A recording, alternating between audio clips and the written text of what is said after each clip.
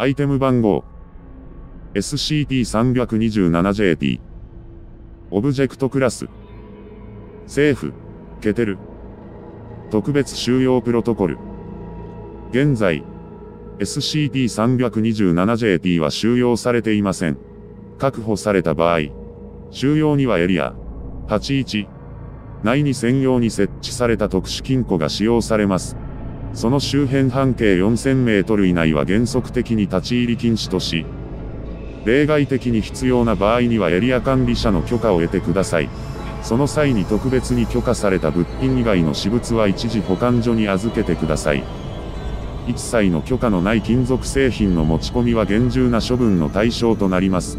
特に機械類は金属円盤型部品を用いていないことが内部検査によって確定した場合以外許可がおりません。また航空機がエリア上空を通過することも認められません。SCP-327JT を確保した財団職員は、直ちにエリア81で連絡を取り、指示に従って搬送してください。搬送中はオブジェクトを個人の財布や機械類をはじめ、金属円盤型の物品から可能な限り引き離すよう努力してください。説明。SCP-327JT は移動しながら外観を不定期に変異させていますが、常に直径約40ほどまでの主に金属で構成される円盤という共通点を持っています。これは SCP-327JT が数分から数日ごとに蒸気の性質を持った物体と事故の位置を入れ替え、同時にそれに化けるためです。以下、この現象を転移と呼びます。転移の距離限界は未確定ですが、確認された最大の転移距離は1408メートルで、最も頻繁に転移する物体はコインです。オブジェクトと転移先の物体の間にどのような材質の障害物があっても、転移に支障を生じさせることはできません。なお、SCP-327JT が、分けた、円盤の両面が異なっていた場合でも、転移後の SCP-327JT はその片方のみを両面が模倣します。例えば SCP-327JT が日本国発行の10円硬貨に転移した場合、両面ともに10の数字が書かれているか、もしくは両面とも平等院法王堂があしらわれているかのいずれかです。以上が第1の異常性です。SCP-327JT を所持した。あるいは自在に取り出せる状態にある人間。SCP-327JT。1. が他人。SCP-327JT。2. と何らかの意見対立場面に遭遇したとき。SCP-327JT は第2の異常性を発揮します。この異常性は、意見対立の解決を SCP-327JT を用いたコイントスで行いたくなるという精神汚染効果であり、対立の性質上コイントスが明らかに無意味であっても、その効果は失われません。例えば初歩的な科学的事実についての記憶が食い違っており、どちらが正しかったか、その場に持っている書籍で直ちに真実を確かめられる場合であっても、両者はコイントスに執着します。ただし第2の異常性は、SCD-327JT からごく近距離に存在する人間にしか有効ではありません。従って意見対立が電話のような遠隔通信手段を介している場合、SCD-327JT、1側のみが一方的にコイントスを要求します。この際、SCD-327JT、2側から、お前がコイントスをしても私には結果が見えない。等の合理的な説明を受けても SCP-327JT。1は聞く耳を持ちません。この場合はほとんどのケースで、SCP-327JT。2側がコミュニケーションを打ち切ることになり、ほどなくして SCP-327JT は転移していきます。コイントスが行われると、物理的妨害が入るなどのごく少数の場合を除き、以下の事象が発生します。一連の事象を、イベント327と総称することとします。イベント327については主に中央アジアに伝わる民話に国字のものが複数残されています。民族学的証拠に照らし、オブジェクトが遅くとも14世紀頃には存在していた可能性が示唆されています。1、SCD-327JT。1、2とも、SCD-327JT の両面が同じである事実に気づきません。2、SCD-327JT。1は必ず SCD-327JT の存在する面にかけ、従ってコイントスに勝利を収めます。3、直後に SCD-327JT。1は、SCD-327JT を手から取り落とし、ほとんどの場合 SCD-327JT、2側へと転がっていきます。この現象は SCD-327JT が SCD-327JT、1の精神に作用して無意識的な動きを強制することで起こるものと考えられます。4、SCD-327JT。2は SCD-327JT を拾い上げ、両面が同じであることに気づきます。5、SCD-327JT。2は一連のコイントスを、SCD-327JT。1が意図して行った悪質なイカ様であると断定し、激怒して強く非難します。6、SCD-327JT。1は SCD-327JT が両面が同じ、エラーコイン、であったと知らなかったと弁明しますが、SCD-327JT には聞き入れません。7、SCD-327JT 1、2ともに相手方に対し、非常に強い永続的な悪感情を抱きます。SCD-327JT。2は自らをコイントスによる詐欺の被害者 SCD-327JT。1を加害者と考え、一方、SCD-327JT。1は自らがその冤罪の被害者 SCD-327JT。2を加害者と考えます。イベント327のすべてが終了した後、SCP-327JT は周辺の金属円盤に再転移することで移動し、SCP-327JT、1の元を離れます。ほい、近年、インターネットや SNS 上において、SCP-327JT、1もしくは SCP-327JT、2であったと考えられる者同士のコミュニケーションが急増している事実が報告されています。これらのコミュニケーションは、典型的には以下のような対応と結果になります。SCP-327JT。1は、他の SCP-327JT。1がネットワーク上に投稿したイベント327の体験談を発見すると、自分と同じ体験をした人がいることに感激し、通常以上に積極的なコミュニケーションを図ろうとする傾向にあります。彼らは、俺も似たような体験をしたんだよ。と積極的に自己開示をし、たまたま持っていたエラーコインによる不運を慰め合うとともに、SCP-327JT、2側の話を聞かない態度や、偶然を認めようとしない強量さについて挙げつらいます。SCP-327JT2 についても、同様に他の SCP-327JT2 とコミュニケーションを取りたがります。そして SCP-327JT 1側のコイントスにおける卑劣なイカ様と、それが発覚した後の往生際の悪さについて語り合い、やはり憎しみを増幅させていきます。またネットワーク上で SCP-327JT、1と SCP-327JT、2が遭遇した場合には、口を極めた罵倒のメッセージをぶつけ合います。両者とも、相手方のみならずそれを擁護した第三者に対しても侮辱と罵りをぶつけ、ほどなくその第三者をも巻き込んで、さらに対立に関わる人数を増加させていく傾向にあります。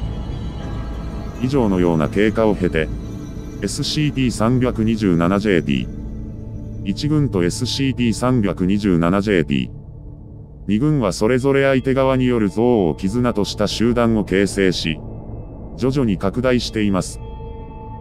SCP-327JP 関連と思われる書き込みのデータや使用された機器を調査したところ、ミーム汚染の検出は一切なく、これらはネットにおける特異性のない、フレーミング、現象を結果的に発生させているに過ぎないと考えられます。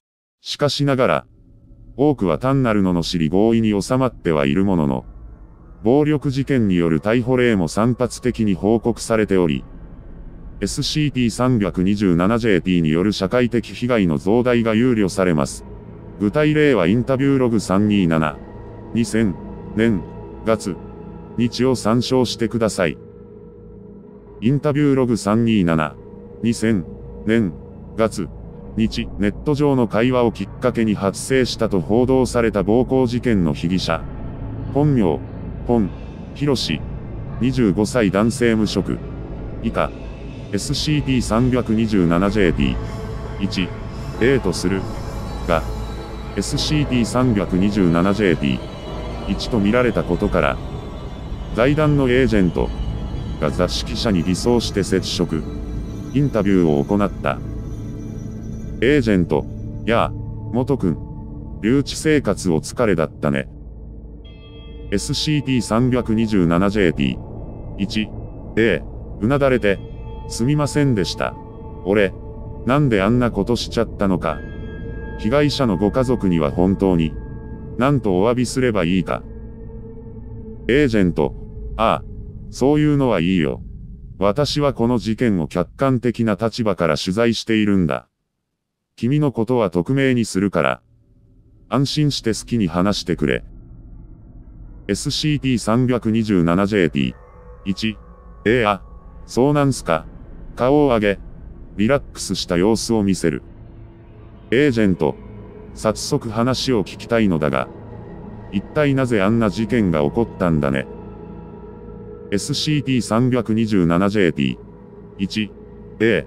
謝罪のセリフを書いたメモを手で丸めながら、元はといえば、被害者名が原因なんだよ。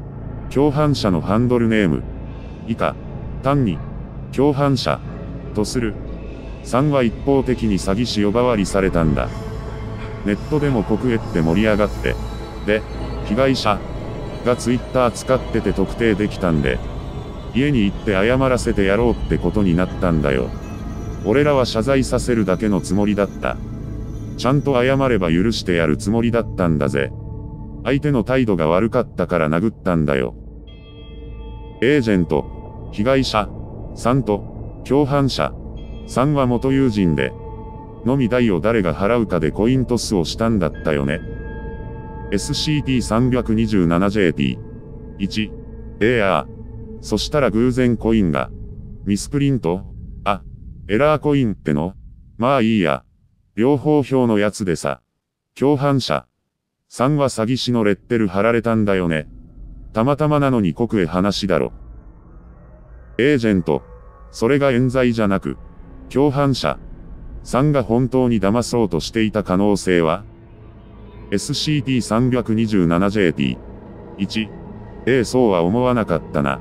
つうかよ。わざとだって証拠もねえだろ。証拠もなく人を詐欺し呼ばわりする方が悪いじゃねえか。エージェント。しかし偶然。エラーコインをコイントスに使ってしまうなんて。めったにあることじゃないだろう。共犯者。3が疑われたのも無理がないとは思わないか ?SCP-327JP。1。えいや、よくあるんだよ。ネットで俺もあったって書き込みたくさん見たんだ。ソースはいくらでもある。エージェント。エラーコインがそこまでたくさんあると思う。SCP-327JP。1。ええ知らねえよ。役所がいい加減に作ってんだろ。実際。俺も同じような体験あったんだよ。だから、共犯者。3のムカつきがよくわかるんだよね。エージェント。その君の体験というのを教えてくれ。SCP-327JP。1。ええ俺ん時は連れと。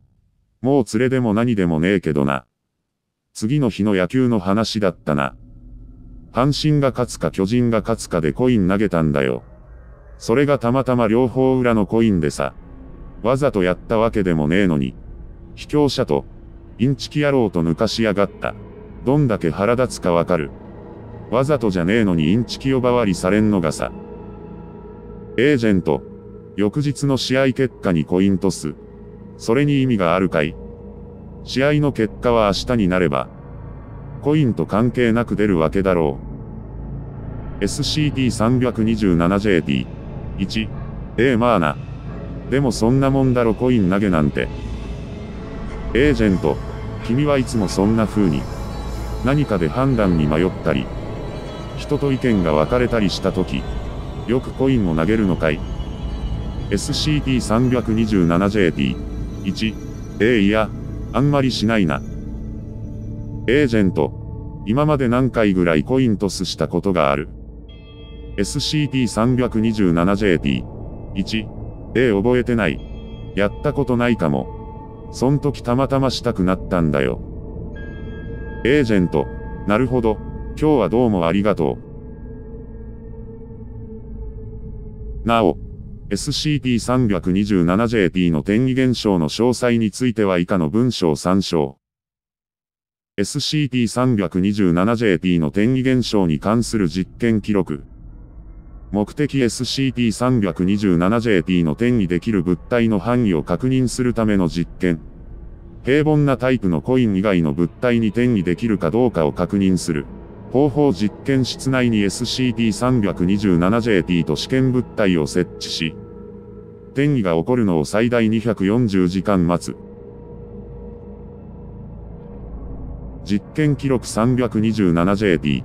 あ、物体日本円の10円玉。昭和30年発行。結果26分後に転移。コメントギザ10と呼ばれる。側面に溝があるタイプの10円玉。別に問題がないことが分かった。博士。以下の実験コメントはすべて同博士による。実験記録 327JT。物体神宮解放、結果45分後に転移。コメント現役の通貨でなくても良いこと。中央に穴が開いているタイプのコインでも問題ないことが分かった。実験記録 327JT。物体日本円の5円玉を模したチョコレート。結果転移せず。コメント外見だけではダメか。実験記録 327JT。え、物体市販ボードゲームに付属していた架空通貨の貨幣。プラスチック製。結果転移せず。コメントプラスチックでも無理と。本物のお金でないとダメなのかな。実験記録 327JT。お、物体日本円の1万円札、結果転移せず。コメントまあ。コイントスにお札は使えんよな。実験記録 327JT。か、物体名当選、結果転移せず。コメント制度制だが、形状は円でない通貨。お金であってもやはり円形でないとダメなのかもしれない。実験記録 327JT。非物体問う貨幣、結果転移せず。コメント一応通貨だが、やはり土製品もダメか。金属であることが条件なのか。実験記録 327JT。く、物体メダルゲーム用のメダル。アルミ製、結果29分後に転移。コメントお金である必要はないらしい。実験記録 327JT。け、物体デザインの施されていない鉄製円盤。直径3。高さ2、結果52分後に転移。コメント社会的な意味は求められていないのか？実験記録 327JT。個、物体デザインの施されてない鉄製の円柱。直径3。高さ6、結果転移せず。コメント高さがありすぎるとダメだということかな。ともかく、一つずつやっていてはキリがない。一遍に行こうじゃないか。実験記録 327JT。さ、実験方法。博士の提案で、実験方法を変更。転移の可能性がある物体多数を実験室内に置き、24時間体制での撮影を行った。両面が同じものは片面に刻印を施し、全物体をガラステーブルに置いて上下から撮影することで、転移の有無を容易に視認できるようにした。その結果、転移したものとしなかったものの例は以下の通り、転移した物体、円形に近い形状のすべての金属製貨幣類、メダル類、ビールの王冠、キーホルダー用のリング、銀製の腕輪、三角縁真珠鏡、様々なサイズの歯車、比較的小サイズのもの、ボタン電池、シーチキンの空き缶の蓋、円形、自転車のギア、シャーレに満たした水銀、転移しなかった物体、石化など金属以外の物質を重材料とする貨幣、メダル類、円に近い形状に畳んだ千円札、同様に畳んだポリマー紙幣、宝貝、ペットボトルの蓋、パチンコ玉、350ml 入りジュースの空き缶、アルミ、スチールとも、オイルサーディンの空き缶の蓋、長方形、大型の歯車、直径50程度から、自転車の車輪、マンホールの蓋、試験管に満たした水銀、コメント、社会的に金銭として使用されているか、されたことがあるか、は全く無関係であり、物理的条件を満たしているものなら何にでも転移するようだ。条件は金属製、円盤状、大きさの上限は直径40センチちょっとか。また、高さが半径以上になると、転移しないようだ。博士。この実験の10日後、収容違反事件327、2000年月、日が発生しました。事件記録327、2000年月8時42分、実験室に安置されていた SCP-327JP。当時の外観はイタリア発行の1ユーロ硬貨が突如として消失。同じ位置に100円硬貨が残されていた。当初の予想で転移距離限界と考えられていた600メートル以内にいた全職員の所持金を確認したが、オブジェクトが転移した物品と考えられる不審な物品は発見できなかった。9時16分、職員食堂にてエージェントが小銭入れから取り出した100円硬貨が、目の前で指輪に変身したと報告。SCP-327JP 消失当時、エージェントがいた場所は実験室から1400メートル以上離れていた。9時18分、60メートル離れた廊下で、突如、事務員の左手薬指が、歯車と共に落下。結婚指輪に転移していた SCP-327JP が歯車に転移したため、指が切断されたと考えられる。9時22分、エリア管理者より発令。エリア内の全機械の点検。不審な金属円盤が混入していないか確認せよ。10時1分、博士のオフィス時計内部から、何らかの瓶のものと思われる金属製の蓋を発見。10時53分、休憩室内の簡易救急箱に入っていた風邪薬の小瓶から蓋が消失していたことが判明した。代わりに500円玉が乗っているのが確認された。以降、エリア内において SCP-327JT の痕跡を発見することはできませんでした。誰かの財布に紛れ込んでエリア外に脱出したものと推定されています。ほい、上記収容違反の後、過去の SCP-327JP 発生記録の再精査が行われ、出現地と次の出現地の中間地域において、不審な事象が発生していないか調査されました。その結果、オブジェクトが通過したと推定される地域には主として機械類の不可解な故障及び、それに伴う事故が優位に多く報告されていることが判明しました。SCP-327JP の転移現象に起因すると考えられる事象には、以下が含まれます。大規模な車両事故、数百人単位の犠牲者を出した列車、船舶、飛行機事故、原子力発電所の緊急停止、軍事用システムの誤作動あるいは緊急停止、 Keter クラスオブジェクト収容のための機器の故障、SCP-327JP が単に些細な揉め事をばらまきながら逃げ回るだけの小物のオブジェクトだと思ったのは大きな間違いだった。いや、これが伝承に書かれた700年前には、実際そうでしかなかったのだろう。だが人類社会の方が、SCP-327JP にとってあまりに都合よく発展してしまった。その脅威を最大限に引き出すような形で、我々は、前回幸運にもあれを収容できたと思った時に、もっと用心すべきだったのだ。オブジェクトが転移したこともない何倍もの距離まで、安全範囲を確保しておくべきだったのだ。博士。